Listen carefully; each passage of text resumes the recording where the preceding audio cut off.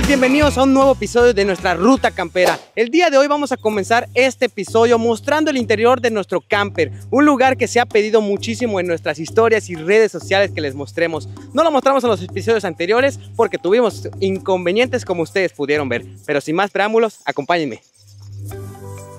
Lo primero que nos podemos encontrar es la parte del frente, algo muy importante.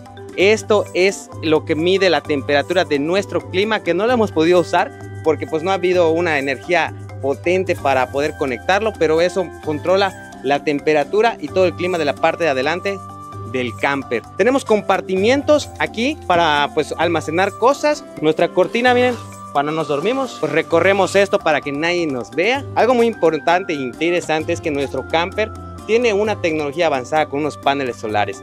Lo que podemos ver aquí es un convertidor que convierte la luz solar a, luz pues, o energía de 110 voltios. En caso de emergencia que no tengamos energía, podemos usar esto para conectar teléfonos, la televisión o cualquier aparato electrónico. Tenemos una pantalla de 32 pulgadas con sistema Roku para poder ver películas, eh, televisión, etc. Los radios que podemos ver aquí se preguntarán para qué son.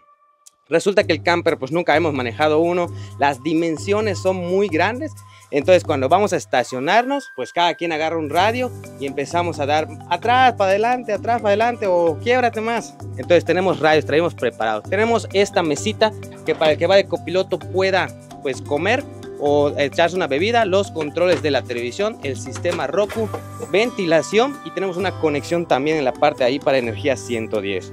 Contamos con un sistema de audio con pantalla touch. Ese es el sistema de las válvulas de, los, de las llantas y la pantalla que es de la cámara trasera para poder estacionarse, pero lamentablemente pues no funciona.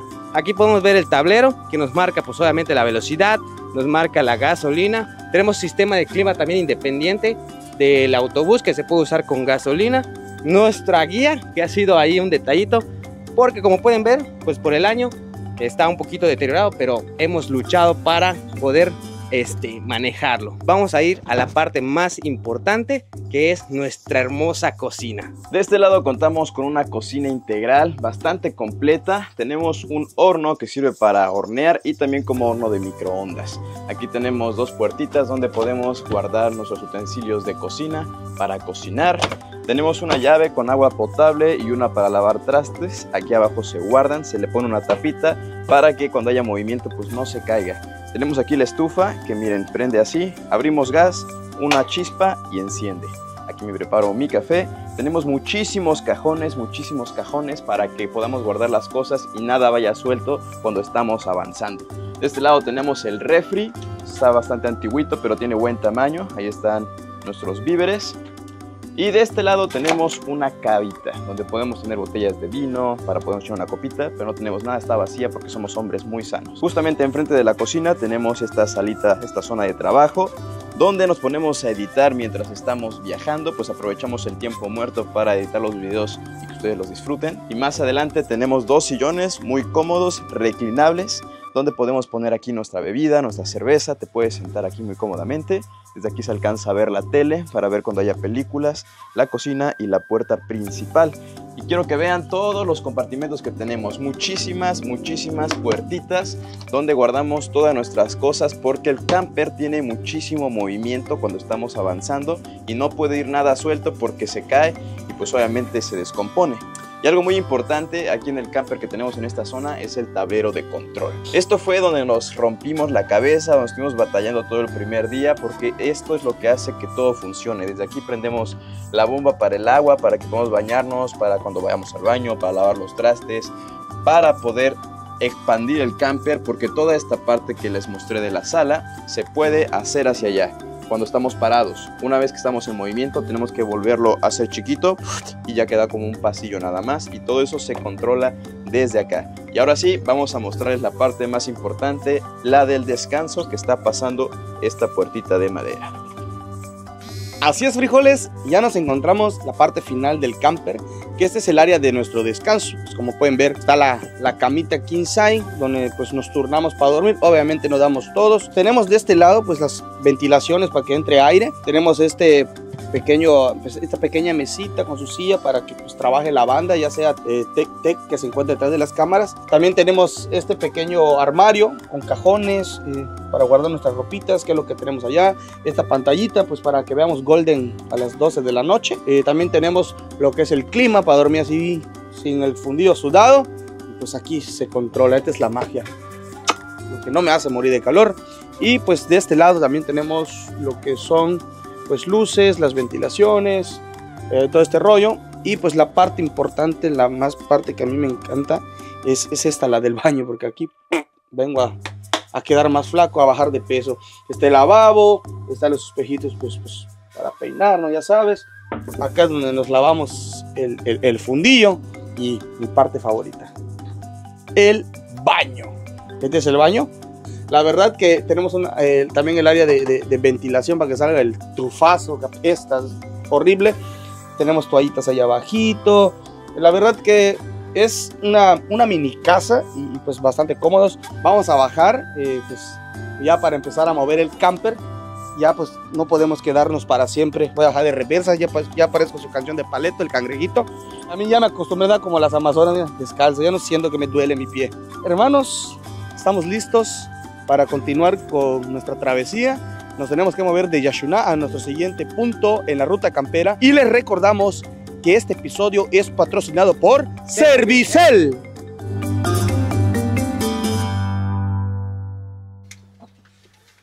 Chingón, Mulish. Oye, Lalo. Eh. Voy a cortar mi pelo tan largo, ¿eh?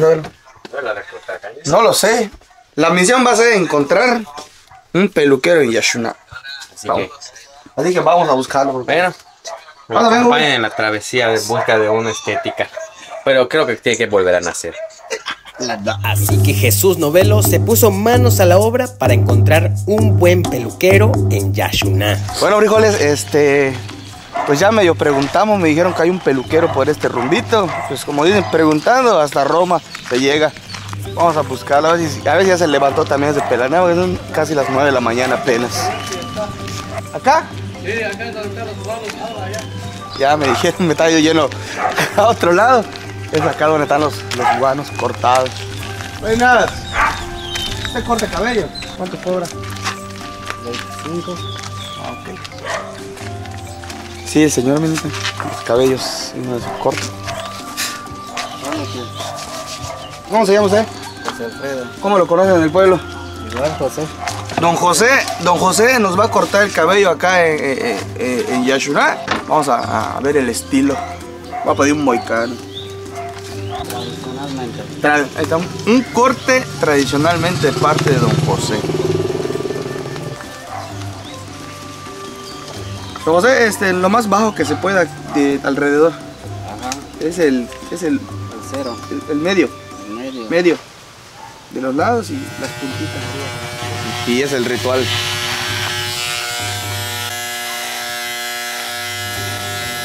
¿Son de alguna escuela?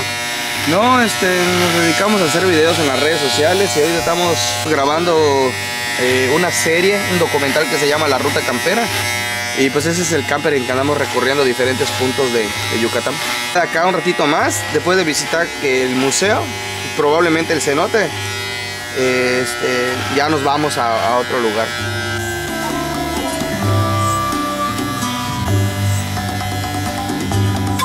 Y como podrán ver, aunque Yashuná es un pueblo pequeño, tienen a su propio peluquero, el cual te corta en un escenario bastante peculiar, lo cual te hace sentirte en un ambiente mágico. Terminamos. Perfecto, sé.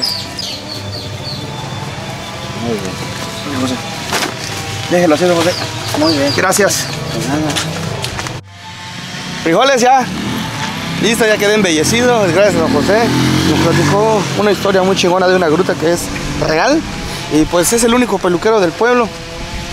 ¿Qué te puedo decir? Es el único que te quita los pelos. Ahora sí vamos a bañarnos y a seguir la ruta campera. Después de alistarnos, nos dirigiríamos al cenote Lolja, un cenote que nos sorprendería por lo hermoso que es, el cual se encontraba a tan solo dos esquinas de donde nos estábamos Bien, quedando. estamos llegando al cenote Lolja. Este es el único cenote que hay aquí en Yashuná y es hermoso. casi no es visitado por los turistas, pero vale muchísimo la pena. Únicamente 100 pesitos cuesta la entrada y está muy cerca de Chichen Itza. Algunos de los turistas que visitan Chichen vienen aquí por su guía que los trae. Pero miren, o sea, llegan acá y la verdad es que solamente con la vista es un lugar precioso. Vamos a ver cómo está este cenote.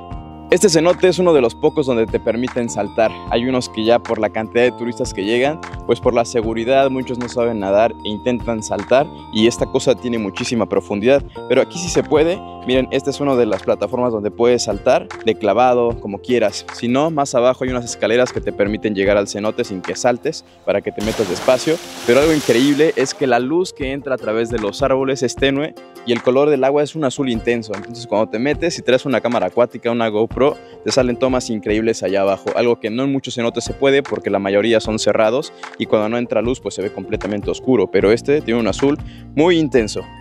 Algo que me sorprende de este cenote y le doy un plus es que en la parte de ahí arriba hay un, pues un orificio, un hueco que pues imagino que cuando llueve hace un efecto de cascada. Como están viendo en las imágenes, ese orificio pues ahorita no, no, no está lloviendo, pero cuando llueve todo el agua se debe filtrar y debe caer al cenote, creando una especie de cascada artificial, vaya. Algo muy bueno del cenote Lolja es que es uno de los pocos donde te permiten saltar desde varias plataformas. Esta es una natural, esta es una desde donde las personas del pueblo se lanzan de clavado. Tú puedes también saltar desde aquí. Si no, más abajo hay una plataforma de madera donde también puedes saltar sin chalecos salvavidas. Muchos lugares no te lo permiten por la cantidad de turistas que hay, pero aquí sí se puede siempre y cuando sepas nadar bien. Este es el cenote Lolja aquí en Yashuna. Sam, Sam, Sam, Sam. Som, som, som. Cenote Lolja, dame tus energías. Espero no ofenderte con ese salto tan feo. Tú me dices. Tenemos a Rommel Pacheco. Prepara. Esto va por ti. En su presentación. Ella. Qué huevos tiene ese carro. ¿Listo? No los tengo yo. Sáquense. Nueve puntos. Cenote Lolja.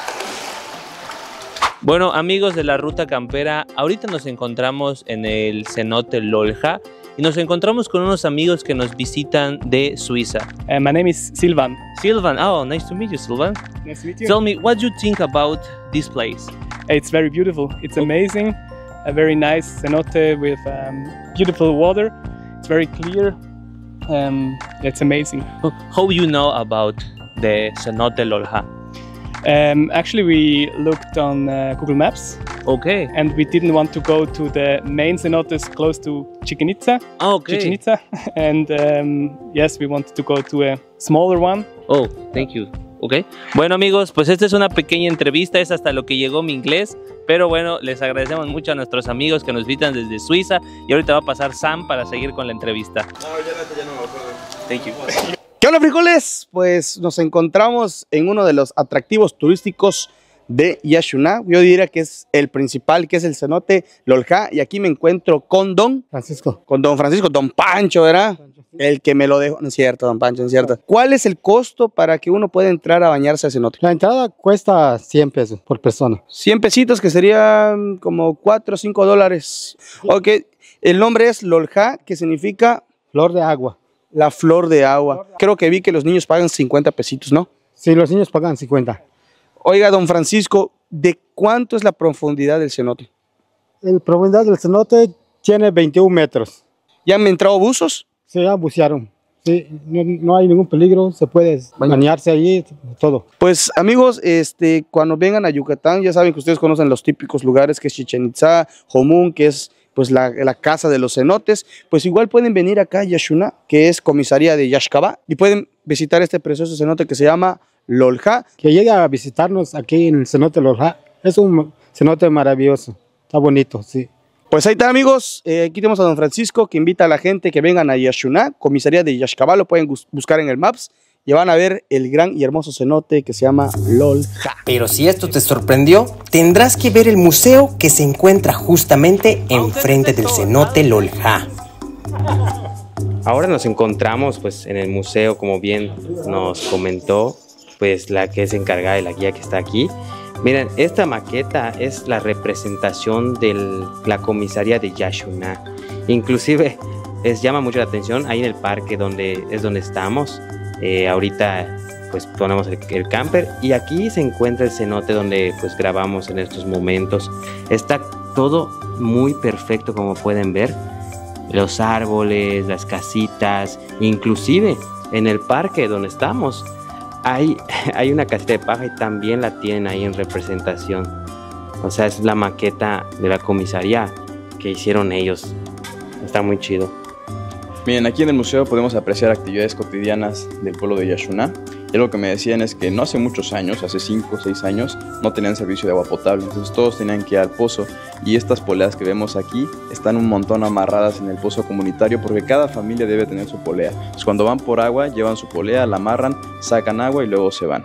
Otra cosa que podemos ver aquí pues son maquetas de todas las tumbas que encontraron cuando se exploró la zona arqueológica de Yashuna, que no es muy famosa, pero sin embargo encontraron muchísimos artículos de valor incalculable. Por ejemplo, esta tumba de acá se dice que era de un rey maya que lo enterraron y encontraron en su cuello un collar de jade con más de 50 quilates de jade. Entonces, era un lugar importante para la cultura maya y aquí se encuentra en Yashuna. Muy buenos días, pues en esta parte me llamo Gina, mucho gusto. Vos acá tenemos la área del centro comunitario, fue construido el 2010 y fue fundado el 2017. Y todo entonces esta área se equipa de como para hacer ay, reuniones, obras de teatro, zancos y muchas cosas. Y tenemos un pequeño museo donde podemos ver algunas cosas que han sacado en la zona arqueológica. En la zona arqueológica tenemos como los puntos cardenales, básicamente todo lo que han sacado, réplicas, fundamentos que en nuestra cultura tenemos. Como pueden ver, aquí en Yashunat hay una variedad de lugares que pueden venir a visitar, muy poco explorados. Pues ya vieron, hay zona arqueológica, están las Amazonas de Yashunat, está el cenote, está este museo que no tiene ningún costo adicional, lo que ustedes quieran dejar. Pero miren, también me comentaban ayer platicando con las Amazonas que tenían un chamán, tenían así un curandero que hace poco falleció. No sé si era esta persona que ven aquí, él se llamaba, por lo que puedo ver aquí, don Manuel Tamay. Y lo que me sorprende es que estos artículos que ustedes pueden ver aquí, él los usaba para sus rituales, ceremonias o pues curaciones que él podía hacer. Como bien detalla aquí, no saben cuál era su uso, no saben cómo se usaba, pero varios de los artículos que pueden ver aquí fueron encontrados en la zona arqueológica de Yashuná. Entonces, eh, obviamente la gente sabe que eran de él y se puso aquí en el museo. Miren, la jícara, que era la, una de los artículos que usaba mucho este señor, y esta piedra. Hace poco fui a Nolo y estas piedras de jade o esas piedras o cuarzos. También el señor este, Vicente Martínez Nolo, que es el que construyó la pirámide de Chichen Itza en su terreno, usaba algo muy parecido para contactarse con seres de, de otro mundo, ¿no? Y pues el señor es Ishmem o es este, un curandero o chamán. Aquí le, lo, representaban de esa manera. Vélez, tiene que invitar que es Chalupe pequeño museo yana no pe zona arqueológica ubaita shimbakeche ubaita awikeche amplia necesidad y ñano no pe pequeño tushkum uyucho a través y tone ñano no pe museo tusham réplicas y ya no sonot ubaita tala shimbateche ya no no pe pequeño fundamento de chachac harana este tulaca cultura tradicional. Sin duda en Yashuná podrás hacer diferentes actividades para conocer y disfrutar. Así que si buscas salir de la rutina, tienes que venir. ¡Gracias, Yashuná! ¿Aquí qué hago? ¿Izquierda, derecha? Ahí está el puto Google Maps allá, güey. Ahí está, el ¿Dónde? go- Ah, ahí está no. ya, güey. Perdón, güey, no lo vi. Verga, Ahorita pones verga lo que Sí, güey. No, No, ¿cómo ve la humildad de. Jesús Novelo? ¿Pero Puta. qué dijo, güey? Dime, pa' Cállate, güey. Ya, tú estás, estás molesto, ya sabes. Estoy hasta la mierda, tengo hambre, güey. Choca la verga, ya vamos a. Pues gente, ya nos estamos quitando de Yashuná. Ahorita nos estamos dirigiendo a una comisaría que se llama Tatsibichem. No sabemos qué nos podemos encontrar, pero yo creo que vamos a encontrar muchísimos lugares mágicos como los que han visto hasta ahora. Así que ya estamos rumbo hacia nuestro siguiente destino como piloto Vic. Y ahí tenemos a Jesús Novela. ¿Qué onda, brigones? De copiloto. Y Sam tocando la armónica.